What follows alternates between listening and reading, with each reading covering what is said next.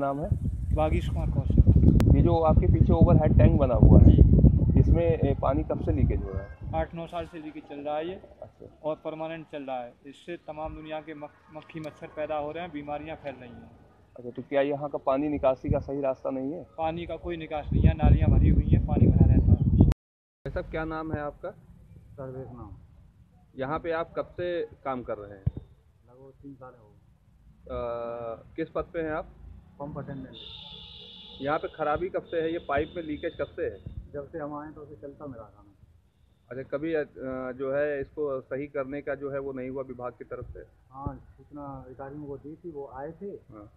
और कह गए थे कि इसको सही कराओ अभी तक सही नहीं है ये पानी निरंतर ऐसे बहता रहता है? हाँ जब तक सप्लाई खुली रहती तब तो वैसे ही रहता। है नहीं उसको दिखवा लिया जाएगा क्योंकि पानी का लीकेज या वाटर सप्लाई ये सब आवश्यक सेवाओं में आता है।